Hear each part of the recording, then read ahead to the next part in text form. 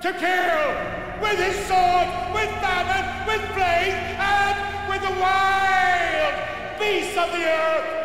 And the moon, the full moon, was red, and stars fell from the skies.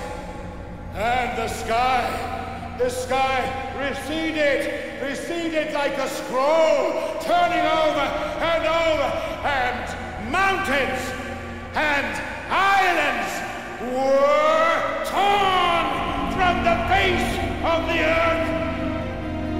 The sun